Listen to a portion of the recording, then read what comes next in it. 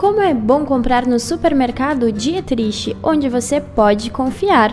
Produtos de qualidade e ótimos preços, carne fresca, pão quentinho e tudo que você e sua família precisam para comer bem, gastando pouco. Você encontra no supermercado Dietrich.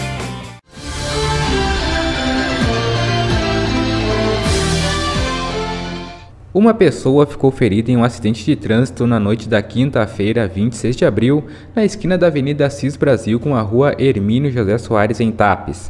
Conforme as informações, um veículo Clio prata que seguia em direção ao centro do município, ao entrar na Avenida Assis Brasil, colidiu contra uma bicicleta. A ciclista, que não teve o nome divulgado, foi encaminhada ao hospital de Tapes pelo SAMU com ferimentos na cabeça e na perna, mas passa bem.